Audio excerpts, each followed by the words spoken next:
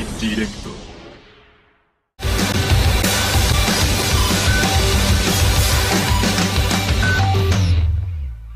Este bonito videojuego, del cual fui, soy y creo que seguiré siendo fan de todo lo que tenga que ver con este salud.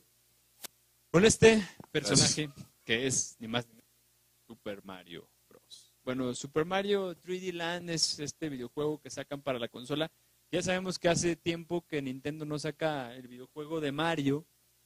¿Cuál fue el primer, el último videojuego que salió de- para Nintendo? Para GameCube ya no salió la consola con su Mario, ¿verdad? Salió en Game Boy, salió en Nintendo, salió Super Nintendo, salió en Nintendo 64, salió Virtual Boy. ¿Con Virtual Boy salió Mario? ¿Hubo un Mario así? Fue la adaptación a 3D del primer, primer, primer Mario, que salían las tortugas, Ah, que estaba era pegarle y voltearlas. Sí, sí, sí. Este, también salió Jumpman. el Game Boy Advance, me parece que salió también uno. Pero ya para 10 no sé. De 10 yo no sé. Y ahora para el 3DS no aparecen los aparece ya maduradito el- en la consola, aparece este videojuego Super Mario 3D Land, haciendo pues una referencia, tributo y demás a pues otros juegos de Mario Bros, entre ellos obviamente Mario Land. Eh, Mario eh, 3D, perdón, Super Mario 3D Land es un videojuego que está visto en una perspectiva extraña. Digo extraña porque aunque ya lo vemos y podemos pensar que esta perspectiva ya lo habíamos visto desde Mario 64, Ajá. no es igual porque la cámara es fija, la cámara no la puedes mover, la cámara se va a mover conforme tú vayas avanzando por el escenario, cosa que resulta al principio un poco molesto. La cámara no es mala, lo que pasa es que estarías, o no sé, estás acostumbrado a que ya la cámara la mueves para donde tú quieras. Las únicas dos formas que puedes tener para mover las cámaras son unas pequeñas flechas en la pantalla táctil, que, perdón, es con el stick, o no con el stick, con el pad. Eh, pero apenas haces un movimiento muy pequeño de tu, entorno, ¿no? O no puedes observar todo lo que hay alrededor, cosa que, insisto, resulta muy molesto y te va a hacer perder algunas vidas en un principio mientras, mientras agarras la onda. Es progresivo el videojuego, sí. Como un buen Mario Bros. no te mete niveles muy complicados en un principio y conforme vas avanzando los niveles se van tornando un poquito más difíciles, no por eso muy difíciles. El videojuego realmente es fácil, es muy fácil y más para las personas que ya tenemos callo en los Mario Bros, donde ya sabemos que hay que brincar, el timing, eh, eh, cómo matar a las tortugas, que los Spinal te van a, no los puedes pisar, etcétera. O sea, ya, te- ya cuando tienes esas Referencias. referencias de Mario, esto se vuelve mucho más sencillo, mucho más fácil. Y aparecen en cada nivel tres moneditas doradas, de bueno, estrellas doradas, que son como los Sunshine o las estrellas de, bueno, no las estrellas de, de Mario 64, pero sí como los Sunshine de los otros Marios. de Mario Sunshine. No, pero es que Mario Sunshine, los Sunshine funcionaban como, como las estrellas de Mario 64. Son estrellas, monedas estrella, que tienes que juntar tres por nivel para poder ah, acabar el nivel completamente. Las monedas, hasta donde yo me quedé, y perdón si me equivoco, no, no te cuentan como las de Mario 64, que tienes que juntar 100 monedas por 120. 120 monedas en cada nivel, ¿no? En este no, no, no, no afecta. No, al final 120 unas, eh, estrellas en cada, hasta el final del juego. Para acceder a otra parte del juego. Sí, pero tenías que sacar las cuántas monedas por, por, por nivel para que tengan otra, otra, otra estrella. Las monedas rojas. Parte, ¿no? Eran ocho monedas rojas. Eran ocho monedas rojas. Pero había también por 100 monedas por nivel, ¿no? Ah, no me acuerdo. No me acuerdo, la verdad. Pero las monedas rojas sí. Esto no. No es tan así. Eh, es el videojuego de la historia del videojuego, no se lo voy a contar. Porque ya se la sabe todo el mundo, ¿no? O sea, secuestran a la princesa y Mario la tiene que ir a rescatar. Qué bonito, como siempre. Este Mario tiene que, que ir. yo, yo siempre he pensado esto de, de- de como, pues Mario, ¿no? O sea, este, el hecho de haber tronado con Elizabeth o con Pauline, dependiendo del nombre del país, tras rescatarla de Donkey Kong y empezar a andar con una muchacha que se pierde cada dos años, pues empiezo a cuestionar la decisión de Mario ¿eh? de haberlo hecho. Lo que pasa es que esta es princesa. Es reinita. Ah, entonces sí, razón. Sí, o sea, uno entiende niveles, ¿no? Yo también digo, pues si voy a tener que chambear por la reinita y la otra, pues era medio plebe, También algo tenía la realeza, ¿no? Pero no era, no era la No era princesa. acá, no era acá la chica. Entonces, pues era, es el asunto, ¿no? Yo creo que por ese lado justifico a Mario que lo haga y que rescate tantas veces a... Qué bueno que no están aquí las del FEM porque... Sí, exactamente. Por eso lo podemos decir libremente porque estamos este, así a gusto ahorita este, en, en temas feministas, ¿no? Más bien, no, no a gusto. Machitas. Sí, vale mouse y ya. Eh, el videojuego entonces tiene esta perspectiva, obviamente en 3D, y un 3D que se ve bonito. Tiene dos, dos opciones. Una que es el 3D, es muy sutil el cambio, pero sí se nota el 3D hacia adentro de la pantalla o el 3D hacia afuera de la pantalla.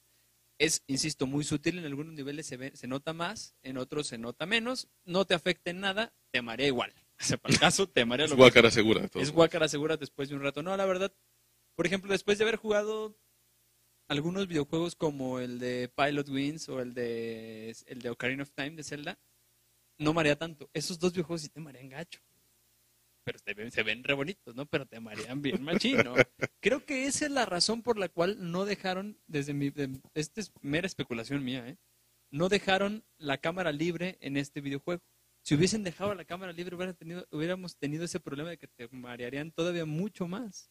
O sea, al tener una cámara que se va moviendo conforme tú vas avanzando y que ya es fija, te permite o te da la oportunidad de no marearte tanto y disfrutar un poquito más de tiempo el 3D, que obviamente termina cansándote y lo quitas y no hay ningún problema. El videojuego se juega igual. Eh, otra cosa, una cosa interesante del 3D son las perspectivas de los em, de los elementos que hay en la pantalla. Eh, hay una cosa, no recuerdo cómo se llama, que ya lo hemos platicado, la- el déjà vu de la semana pasada, que es como las escaleras infinitas que en, Inception le, le marcaban como errores eh, o paradojas, les decían en Inception, la película de Inception, donde las escaleras infinitas, ¿no? Que se iban moviendo, que por la perspectiva que tenías de la imagen pareciera que fuera una cíclica, pero no era cíclica, sino que tenía simplemente un acomodo distinto eh, y en perspectiva en cierto ángulo lo veías así. Usan ese recurso para, para Super Mario 3D Land, eh, que es un recurso que no te afecta, pero sí te saca un poco de onda, ¿no? Ves, ves una, una estructura de distintos eh, cuadros, resulta que los cuadros no están acomodados como se ven, sino que está uno más ad- adelante que otro y lo notas con 3D moviendo un poquito la cámara. Para eso hay unos eh, este, botones en el piso para mover la cámara. Una cosa que a mí me llamó mucho la atención, ya lo había comentado también, no, mm, no es spoiler, es cuentito. Es cuentito, es cuentito esto que les voy a decir. Un bonito, me topé con un bonito homenaje que le hacen a los 25 años de Zelda, que a mí en lo personal me gustó muchísimo, ¿no? Llegas a un castillo en donde la perspectiva se ve totalmente desde arriba, eh, como un Zelda de... ¿En qué Zelda se usaban esta perspectiva? Pues en todos, ¿no? Hasta el 64 todos los Zelda fueron, eran- fueron así, ¿no? Los de Game Boy, los de Nintendo y los de... Bueno, en, en- en el segundo de Nintendo, cuando entrabas a los castillos se veía como Mario Bros. Sí. Bueno, algo así. Pero la perspectiva es desde arriba y conforme vas avanzando los cuartos, pues se va moviendo el scroll como se movía en Zelda. Llegas a un lugar en donde hay cuatro fogatitas, bueno, cuatro mecheros, que si tú traes la- la- las balitas, este, disparas a los cuatro mecheros, se encienden y se abre una puerta y se escucha el típico sonido de, de- de Link, bueno, de Zelda cuando abres, cuando descubres una puerta, entras y hay una de las monedas, la- una moneda escondida que necesitas obviamente para juntar las tres. Eh, es un bonito homenaje, es un guiño, un cameo nada más, o sea, no te va a pasar nada, si no lo haces no importa, el nivel lo, lo puedes Pero acabar. hágalo. Pero hágalo, es muy bonito. O sea, está, para los que somos fanáticos de Zelda, es así, ah, qué locochón, ahí está Zelda aquí este, reflejado en Mario Bros. Eh, y me gustó, se ve curioso. El videojuego entonces eh, es, es interesante eh, por esos, ese- esos pequeños cameos. Ahora, el videojuego es muy simple, mucho, muy simple. Realmente no te lleva mucho tiempo acabarlo. Y yo que he prestado el 3DS a ciertas personas dicen lo mismo, o sea, no es una cuestión de ser fanático de los videojuegos para poder decir que es un videojuego simple. Eh, hay personas a, lo- a las cuales les he prestado el, el 3DS para que lo jueguen y me dicen, ah, está muy fácil, y, lo, y avanzan mucho en muy poco tiempo, y mucho es en una sentada de un par de horas, llegan al nivel 4 de mundo al mundo, o sea, sin usar warps ni nada, y que nunca habían jugado el 3DS y que no son fanáticos, o sea, son casuales y llegan, avanzan mucho. Y jugadores ya un poco más hardcore se han llevado el videojuego, lo he prestado el videojuego como el buen Alfredo y lo acabó en tres días, dos días, y eso porque se le acabó la carga en uno de ellos y dejó de jugar. Yo mismo también lo acabé rápido. Obviamente como cada Mario hay cositas escondidas que si te clavas pues lo vas a, vas a, vas a sacarle un poquito más de jugo, pero no es el clásico Mario que, que te dura mucho más tiempo. Desde mi punto de vista es un Mario simple, es un Mario este, que vas a acabar en completo si eres hardcore gamer este, en una semana, semana y media ya chutaste todo. Y si no, pues sí lo podrás sacar algo de provecho al, videojuego. Yo le tenía mucho fe a este videojuego eh, cuando anunciaron el 3DS porque Mario es garantía, ¿no? Mario es garantía de que tiene que te va a presentar un videojuego que te va a entretener. Siempre y cuando sea desarrollado por Nintendo. Eh, sí, hay que, hay que aclarar ese, ese punto y lo, lo hicieron. Este videojuego no es malo, al contrario, es muy bueno, vale mucho la pena.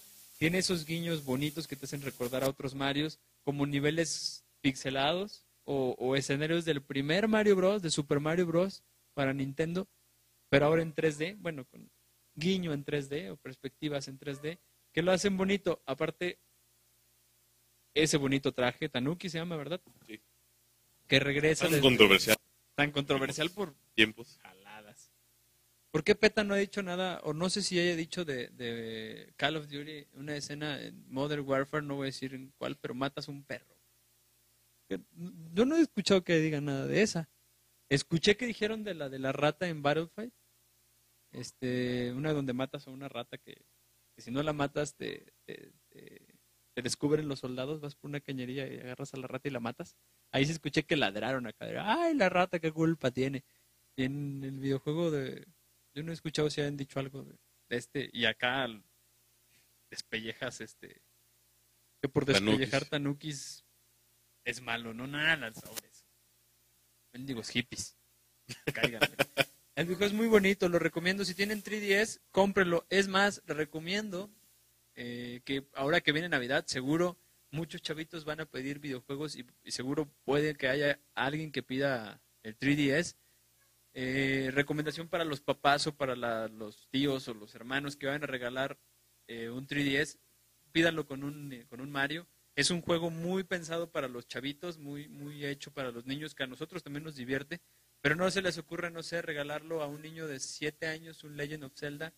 Lo va a disfrutar, pero tiene que estar un poco más clavado. Yo digo, mejor un Mario, este, es garantía, es, es interesante, es bueno y vale la pena. A mí, a mí en lo personal me gustó y no me decepcionó el videojuego.